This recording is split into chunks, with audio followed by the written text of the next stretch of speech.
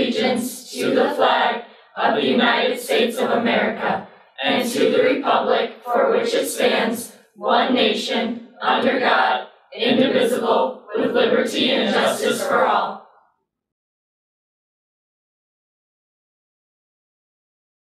Shores Mona Morning Good, Announcements Daily, Valentine's Day, Saint 2018. Tyler. And this is why he doesn't have a Valentine. Seniors, if you would like to be included in the 2017-2018 yearbook, please submit a color photo by Friday. Send your senior photo to Mr. Kent at kentw at monashores.net. Seniors, the deadline for the Community Foundation of Muskegon County Scholarship is tomorrow. Please log on to complete it today.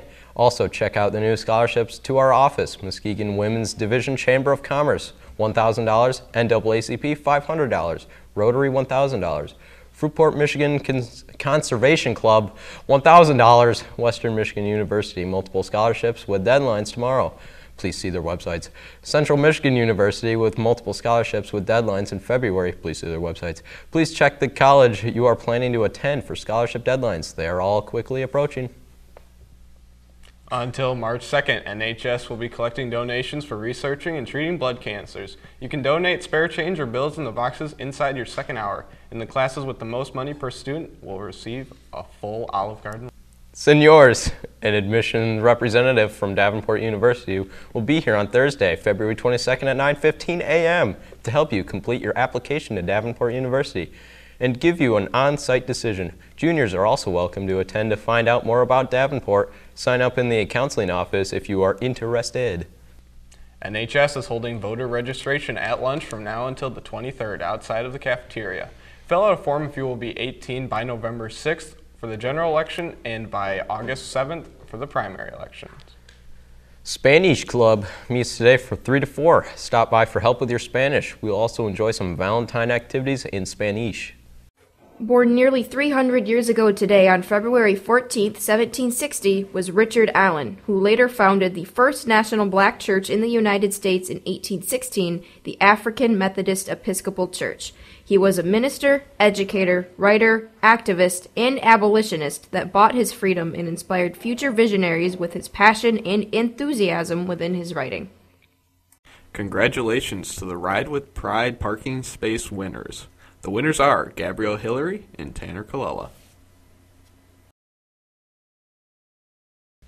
This is Sailor Country. We do everything with pride.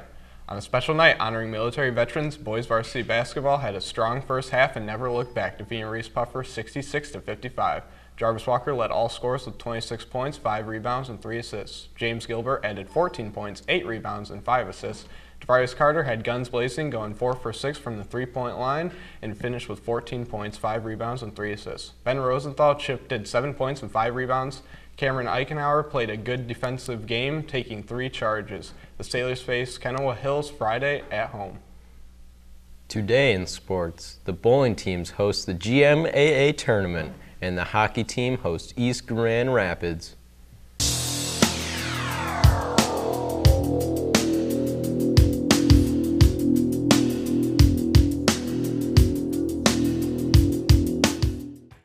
I flipped my 20 by being on time and getting my schoolwork done.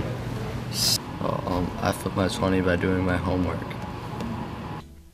That's all we have for you today, sailors. Have an absolutely fantastic Valentine's Day. L is for the way you look at me.